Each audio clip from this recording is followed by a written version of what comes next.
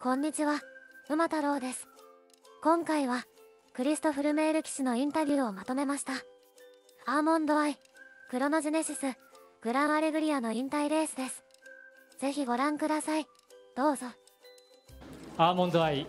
G18 勝目です今のお気持ちをお願いしますあまり喋れない 信じられないなパフォーマンスですね、えー今日は日本一になりました、えーまあ、もちろん強い馬ですけど、まあ、毎回乗るときはあのプレッシャーがあのちょっと重たいです、えーやっぱり本当に G1 発勝を、えー取りたかったね、だから もうちょっとプレッシャー、えー来てた、でも、まあ、改めてやる問題はあのすごくいい競馬しました、えー、と最後もちょっときつかったけど、よく頑張ってくれました。今日はスタートもしっかり決められましたね。はい、えーまあ今日スタート前、とてもリラックスしました、えーとまあ、ゲートの中も、えー静かかったし、だからゲート開いた時はあのすごく好スタートしました。最後の直線外から2頭襲いかかってきましたけれどあの時のお気持ちは？えーちょっと怖かったです、えーやっぱり、まあ、今日直線ではあの一人で、えー伸びてくれましたね、前の馬は結構早めに、えーバテましたので、えー坂登ってからあの、えーちょっとちょっときついになりました、えー、とお外の馬を聞きましたので、えーやっぱり結構心配しましたけど、えーまあ、ある問題はめちゃくちゃ強いだからあのよく頑張ってくれました。ルメールさんがアーモンドアイの背中でレースに臨めるのはあと1回、2回ぐらいしかありません。改めてアーモンドアイにどんな言葉をかけますか？いやみんなみんなあの馬場でアルモンダイを見たいですね、えー彼女はアルモンダイはまだ走りたいだから、えーまあ1回か2回、えー使えると思いますけど、まあ、それは調教師さんと、えー馬主さんののチョイスですね。次もいいレースを期待していいですねはい もちろん、もちろん、でも、まあ、この馬でいつも勝ち自信がありますけど、競馬はとても難しいだから、えーいつも新しい馬がいるので、えーえーみんなアルモンダイを、えー勝ちたいから、えーいつも大きなプレッシャーです。プレッシャーを感じながらじゃあ次もいいレースを期待しています、はい。おめでとうございました。どうもありがとうございます。メールジョッキーです。見事な連覇達成となりました。おめでとうございます、そうです。ありがとうございます。えー今回は、まあ、初コンビ北村ジョッキーの思いも背負っての騎乗だったと思いますがどんなレースプランで臨まれたんですか？まあ、とりあえずはあの、まあ、北村雄一ジョッキーにこんにちは言いたいね、えーまあ、残念ながら怪我したので、えーまあ、それは騎手さんの生活ですね。だから、まあ、お大事にください。気にしないで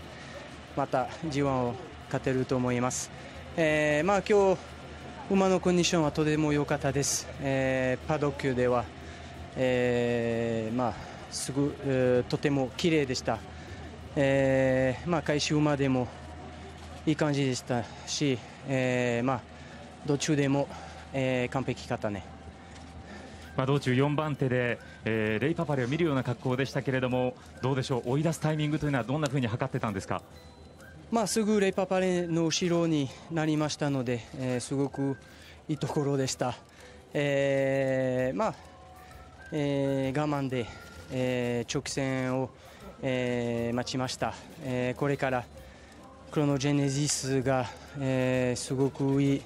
足を使ってくれました、えーだんだん加速ししてくれましたし、えーとまあ、ラスト 200m は楽でしたね。非常に直線でも強さを見せましたけれどもどうでしょう？ルメールジョッキーから見てこの先海外凱旋門でも期待される一頭ですがそのあたりの可能性今日騎乗してどう感じましたか？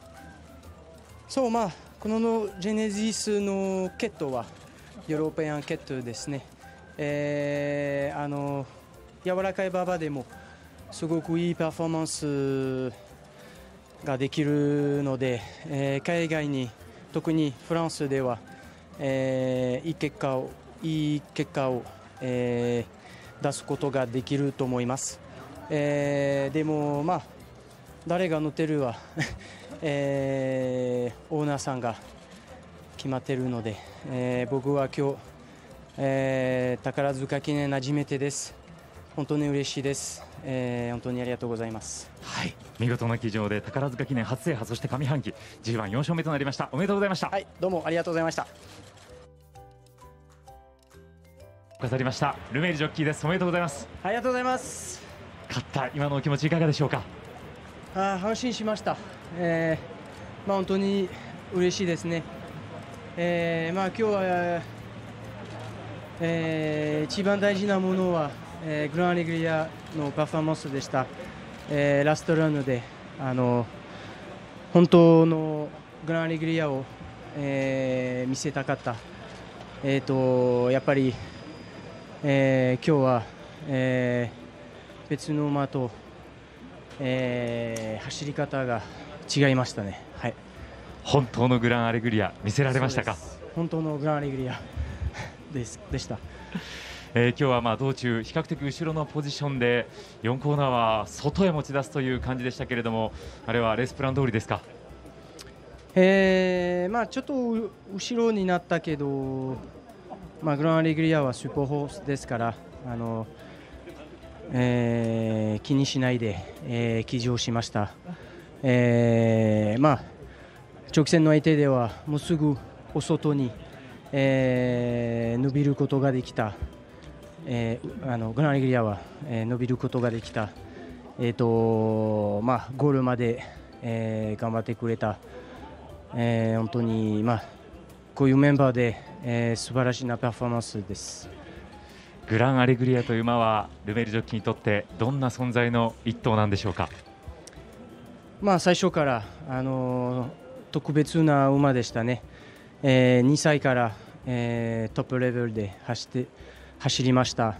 えーとまあ、毎回毎回、えーえー、すごくいい競馬してくれました。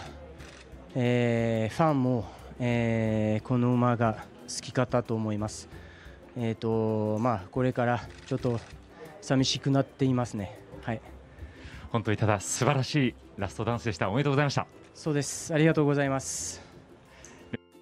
ご視聴ありがとうございました。高評価チャンネル登録していただけると、今後の活動に大変励みになります。よろしくお願いします。またお会いしましょう。さよなら。